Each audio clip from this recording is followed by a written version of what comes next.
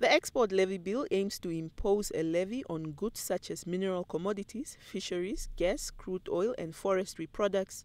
The bill intends to improve the country's value share on natural resources that are exported raw.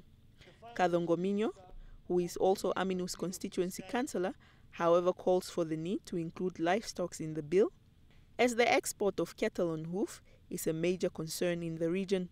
The Nudo parliamentarian said the inclusion of livestock will also encourage local processing and create jobs.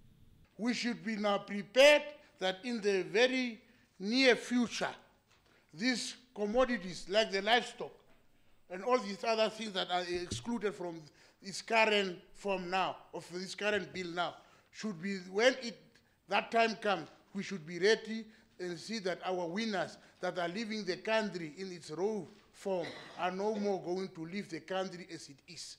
And that will also contribute to employment creation within the country.